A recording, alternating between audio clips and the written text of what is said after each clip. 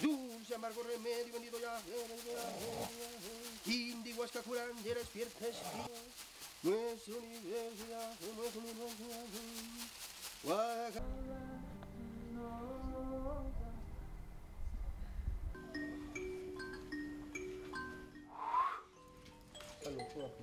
So ayahuasca originates from the Amazon basin where it's been used for thousands of years and it's been used ceremonially, it's been used socially, been used as medicine, it's been used religiously as a sacrament, and we're now seeing it more and more being used therapeutically.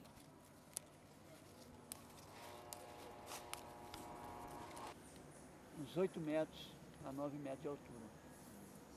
It was through the Brazilian religions that ayahuasca spread, mainly through two of the religions, the União do Vegetal or UDV, which have um, churches in the US and it's legally um, using ayahuasca in the US, and the Santo Daime Church. So these were the two main churches that started spreading ayahuasca throughout the world in the late 70s. That's when the movement started. And then now it's the, the situation, a very um, um, spread out situation.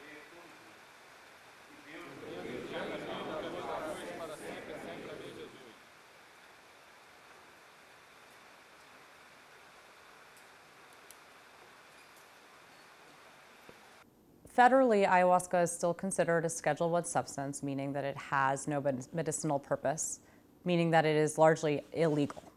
There are several churches which have been granted the use of ayahuasca because they consider it to be their sacrament.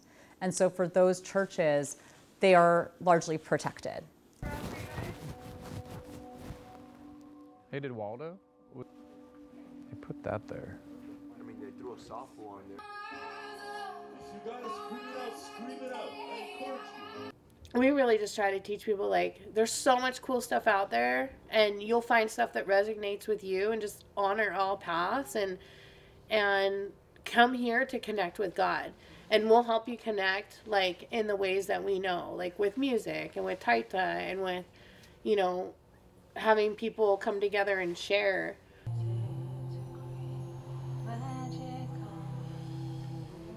You know, we're trying to be above ground for a reason because we, we believe that this medicine is going to help change the world and change the United States. So in the same breath, you know, we're the ones that are kind of being open doors and sharing.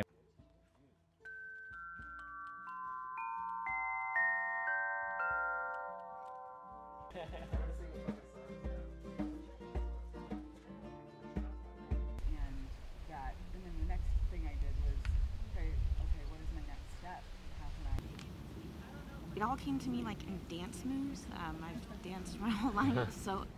I had so much gratitude and thankfulness that I was taking everybody around. I was saying, thank you guys. I told her, I go, I can't wait for today's experience because I got all that evilness out of me and I want to see what joy I'm going to get next. Oh, yeah, yeah, yeah. Oh, yeah.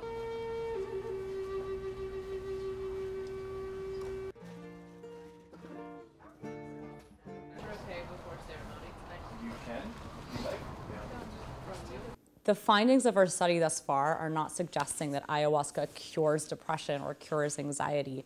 But what we're saying is that people are reporting a benefit from these rituals. And I think it's really important that we aren't reductive about the findings of research right now at this time because the majority of studies that have been done so far are small. Uh, we want to make sure that their findings can be generalizable to a larger population.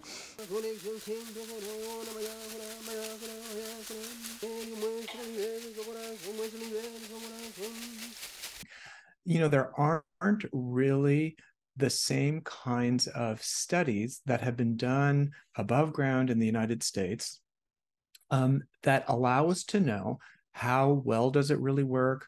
Who does it really work the best for? What are the real side effects of it?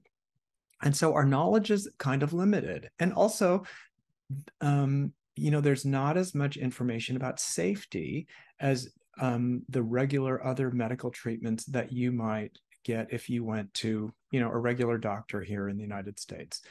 So it's kind of in the early stages i would say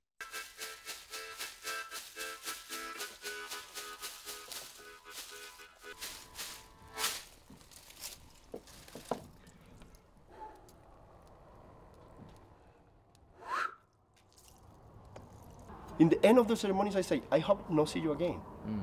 Because I, is, is, if, if, if I don't see you again, it's because the job, the, my work is good, you know? And mm. then you are free.